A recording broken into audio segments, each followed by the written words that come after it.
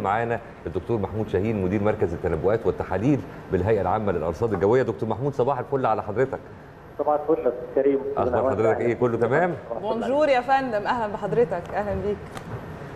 يا ترى المتوقع إيه بقى فيما يتعلق بدرجه الحرارة درجات الحرارة ونسب الرطوبة في الكام يوم اللي جايين يا دكتور محمود؟ إحنا طبعا فصل الصيف زي ما إحنا بنقول دايما بيبقى في استقرار شديد في الأحوال الجوية من الصعب إن تتغير في الكتل الهوائية المؤثرة بشكل سريع.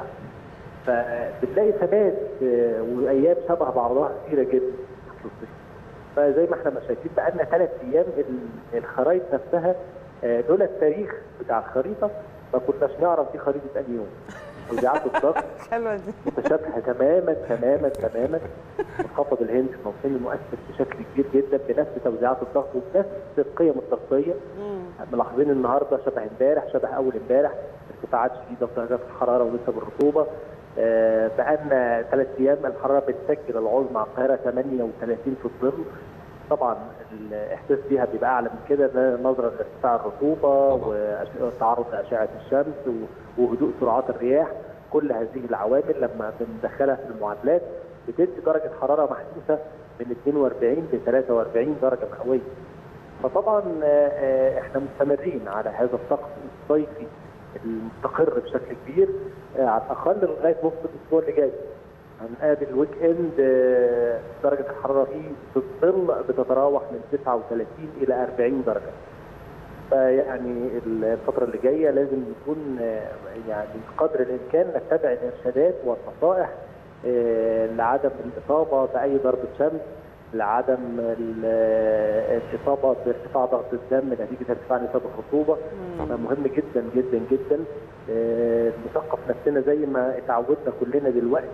على كل المستويات الفقير والغني دلوقتي الكمامة بالنسبة له ثقافة جديدة كله مهتم جدا بالماسك والكمامة. لا عايزين بقى ناخد ثقافة إزازة المية دايما في إيدينا دايما أثناء تواجدنا خارج المنزل معانا ازازه المية في إيدينا بتاعتنا. نشرب حلوة ثقافة إزازة المية. حلوة. حلوة أو المصطلح وبالنسبة للكمامات أعتقد الكمامات لزقت في وشنا كشعب في الكام يوم اللي فاتوا. يعني يعني خلاص. حاجة أساسية من مصاريفنا الاساسيه شراء الكمامات. فلازم برضو زجاجة المية ده مهم جدا جدا. آه. لأن معدلات فقد المية من جسمنا كثيره معدلات العرق متزايدة ارتفاع نسبه الرطوبه مخلية كميات العرق بيبقى صحيح. فيها مشكلة فقد المية من جسمنا فلازم شرب المية حتى لو مش عطشانين لازم نعود نعود نفسنا على زيادة معدلات شرب المية خلال هذه تمام. كالعادة سعداء بمشاركة حضرتك وطبعا بنستفيد يعني دايما من مع الكلام مع حضرتك. ربنا يخليك سعداء جدا وصباح الفل عليك يا دكتور محمود. حلوة جدا ثقافة إزازة المية دي. آه. فعلا اصل دي حقيقة. إحنا في ناس مننا أنا أعرف ناس على فكرة بيقول لك أنا ما بشربش مية خالص. لا نادرا يعني عشان يعيش عشان ما يتوفاش.